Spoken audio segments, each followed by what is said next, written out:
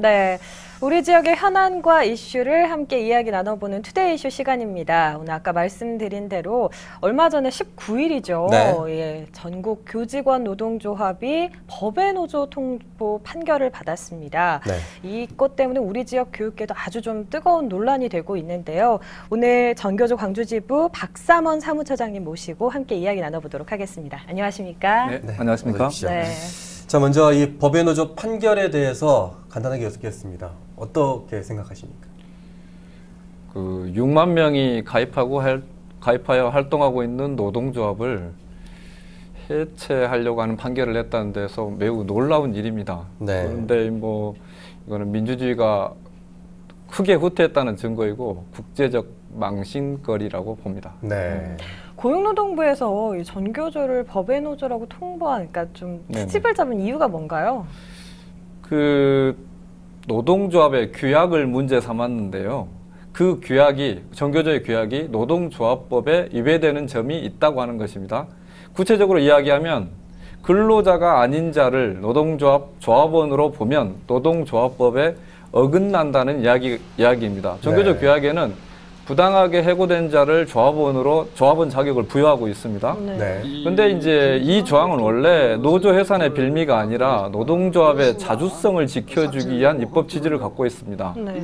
1987년도까지는 노동조합법에 정부의 어, 노동조합 해산권이 있었는데 네. 노동조합의 자율성을 보장하기 위하여 노조 해산권을 삭제했습니다. 그런데 1998년도에 이 법에는 없어졌는데 시행령에 정부가 만든 시행령이죠. 시행령에 이 노동조합으로 보지 아니함 통보 조건이 몇 가지가 있는데 거기에 그 근로자가 아닌 자를 조합원으로 인정할 때 이런 네. 조항이 있었다는 것이죠. 그것을 빌미 삼아서 지금 이 노동조합 아님 통보를 했고 그 통보가 정당했다고 판결한 것입니다. 네. 네. 자, 여기서 이제 구체적으로 얘기하면 해직교사 아홉 명에 대한 문제입니다. 네. 노동부는 이것에 대해서 이제 네네. 법의 노조의 판결의 근거로 받고 네네.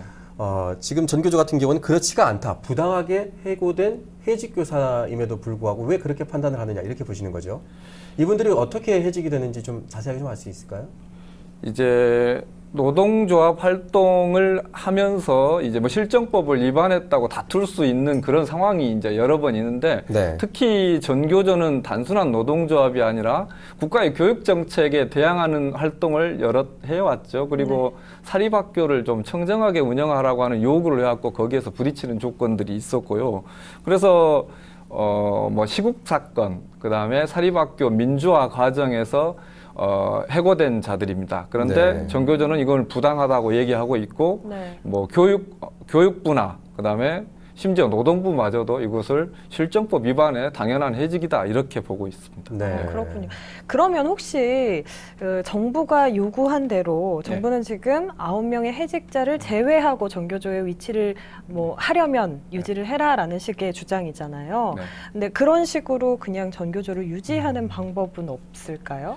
그러니까 규약을 개정하도록 권고했을 때 규약을 개정했으면 이 됐을 거 아니냐 그런 질문이잖아요. 네. 아픈 곳을 좀 찌르는 질문입니다. 네. 그 비유해서 이야기해 보면 길 가다가 만난 불량배들이 이 돈을 요구할 때 몇 푼 지어주고 상황을 모면할 것인가 아니면 다소 위험한 상황을 무릅쓰고라도 정면으로 대응할 것인가 이런 문제 정도였다고 보는데 네. 정교조는 그때 뭐 대응하겠다 이렇게 결정한 바 있습니다. 네. 다른 노동조합을 보면은 해직된 분들도 같이 안고 가거든요. 그리고 네. 그게 노동법상으로도 이제 관리가 돼 있는 건데 네네. 왜 이 잣대가 전교조에만 따로 또. 이렇게 잣대를 대는 걸까요? 교원 현재 법에 이제 교원 노조법에 어, 교원 노동조합의 자격을 교원으로 하고 있습니다. 네. 그러니까 교원으로 했기 때문에 해직된 자는 교원이 아니다. 그러므로 어, 해직된 자를 노동조합 조합원으로 안고 있는 정교조 규약은 네. 문제다. 그다음에 그, 그 규약을 거치지 않는 것은 노동조합으로 보지 아니함 통보를 한 것이 정당하다고 보는 근거로 보고 있습니다. 네. 근데 이런 교직 어, 교원 노조법을 네. 국제 노동기구에서는 좀 네. 보수적이다, 보수적인 노동법이다라고 네네네. 얘기하고 있는 입장이잖아요. 이런 이거 어- 정확하게 어떤 내용인가요? 그러니까 이제 ILO에서는 노동조합의 조합원 자격을 법률로 정할 게 아니다. 현재는 교원노조법과 노동조합법에서 조합원의 자격을 거기서 정하고 있는데 네. 법률로 정할 것이 아니라 노조가 자체적으로 결정해야 한다 이렇게 보고 있습니다. 네. 그래서 지난해 8월에도 이제 이미 이명박 정부에서 아니 그 이명박 정부에서 이미 정교조 규약을 개정하라는 개정 공고를 계속 해 왔기 때문에 예. 지난해 8월에도 조합원 요건은 요건은 조합 자율에 맡겨야 한다고 8월까지 열 차례 넘, 넘게 ILO가 우리 정부에 이제 공고를 한 거 있고요. 네. 세 차례 긴급 개입이라는 법률 행위를 한 적이 있습니다. 네. 또 이제 OECD에 우리가 가입한 것이 1996년인데 네. 가입 당시에 우리 정부가 약속한 것은 교사와 공무원의 결사의 자유 및 노조 활동을 보장하겠다 이런 약속을 하면서 OECD에 가입했단 말이에요. 네네. 그런데 이제 이번에 법의 노조로 만든다는 것은 그 약속을 지키지 않은 것이 될 수 있습니다. 네. 게다가 지금 그 교원노조법 개정안이 국회에 제출이 된 상태라고 들었어요. 그렇죠. 근데 왜 네. 지금 이게 개정이 안 되고 있는 거죠? 그 여당이 가반 의석을 이 점유하고 있고 네. 이제 이런 상황에서 간단치는 않을 거라고 보는데 야당도 이 교원노조법을 개정시키는 것이 정교조를 합법 노조로 유지하는 것이 크게 뭐이 정치 상황에서 네. 뭐 실익이 없다 이렇게 본 점도 있고 또 하나는 정교조도 법 개정을 탐탁치 않게 법 개정을 최우선 그 투쟁 과제로 삼지 않은 것도 있다 저는 그렇게 보고 있습니다. 네. 자, 이게 그 교육 현장의 문제인데 이게 어떻게 지금 변질이 돼가지고 정치적인 문제로 지금 비화되는 것 같기도 하고요. 좀 안타깝게 좀 느껴지기도 합니다. 자, 그러면서 좀 강경하게 나오고 있는데 노조 전임자에 대한 복귀 조치 네. 따르지 않기로 하셨다면서요? 그러니까 이제 법의 노조 이 취소 소송에서 네. 우리가 정교조가 패소했단 말이에요. 네. 패소한 날 교육부는 옳다구나 하고 각 시도 교육청에다가 공문을 보냈습니다. 그 공문의 내용의 대표적인 것이 전임자를 복귀시켜라. 근데 전임자는 어, 교원노조법에서 이 노동조합을 위하여 일하는 자, 교, 현직 교사들입니다. 그래서 네. 정교조 광주지부에도 세 명의 전임자가 있고요. 그 전임자를 복귀시키라고 했습니다.